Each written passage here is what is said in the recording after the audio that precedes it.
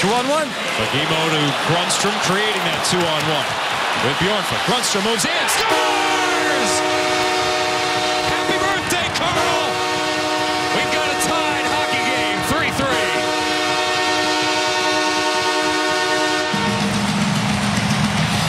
Happy birthday indeed. Short side high. That's what they're doing nowadays. Pinch without support.